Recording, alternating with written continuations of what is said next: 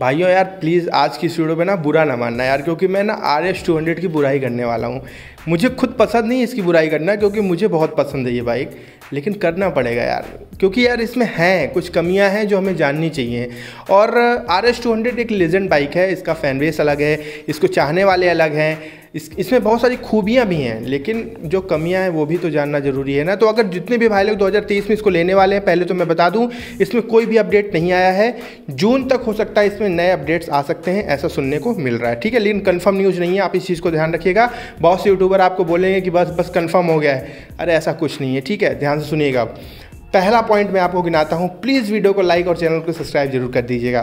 पहला पॉइंट है कि इसमें जो लोगों का जो रिलायबिलिटी है मतलब जो भरोसा है ना इस बाइक के प्रति, वो काफ़ी अच्छा है, लेकिन एक लंबे समय के लिए वो नहीं है।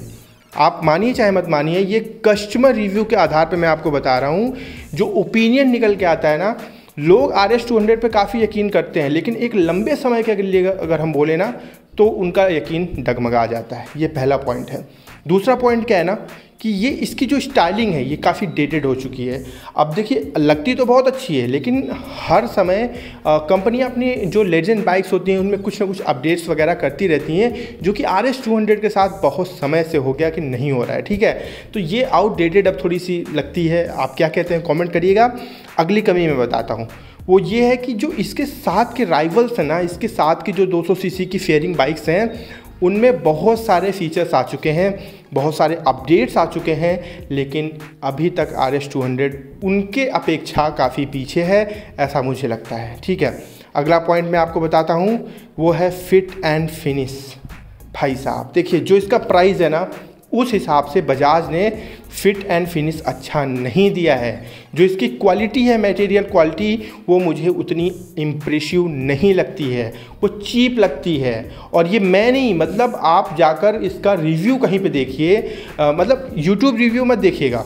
आप जाकर कहीं रिव्यू इसका पढ़िए, कोई ब्लॉग जाकर पढ़िए, आप देखेंगे ना हर जगह ये चीज़ आई है कि जो मटेरियल यूज़ किया गया है ना, इसी प्राइस रेंज में उसकी क्वालिटी और भी बेहतर की जा सकती थी, जो कि बजाज ने नहीं की है, शायद उन्होंने प्राइस कटिंग करी है, ठीक है? अगली बात करता हूँ, वो है नो स्लीपर क्लच भैया 200 सीसी की बाइक है पावरफुल बाइक है फेयरिंग सेगमेंट की बाइक है, दिखने में भी काफ़ी अच्छी है। लेकिन स्लीपर क्लच का है? नहीं है। बहुत ज़रूरत पड़ती है स्लीपर क्लच की। हम छठे गियर में होते हैं। अचानक से हमें डाउन शिफ्टिंग करनी पड़ती है। हमें पहले दूसरे गियर में आना पड़ता है। तो वहाँ स्लीपर क्लच होता है ना तो मज़ा ही आ जाता है। नहीं तो भैया पहले तो भैया छठे गियर में है तो फिर पाँचवें में लाओ। फिर चौथे में लाओ, फिर तीसरे में लाओ, फिर दूसरे में लाओ और स्पीड भी धीरे धीरे धीरे धीरे कम करते रहो। नहीं तो पता चला, अगर डाइट अगर छठे से दूसरे पे आ गए ना और क्लच जैसे छोड़ा भक्क से मारे कि बाइक एकदम मुँह के बल गिर जाएँगे, ठीक है? तो स्लीपर क्लच बेहद ज़रूरी है। और मुझे लगता है कि अगले अपडेट में ना कुछ आए चाहे ना आए, लेकिन स्लीपर क्लच ज़रूर आएगा, ठीक है?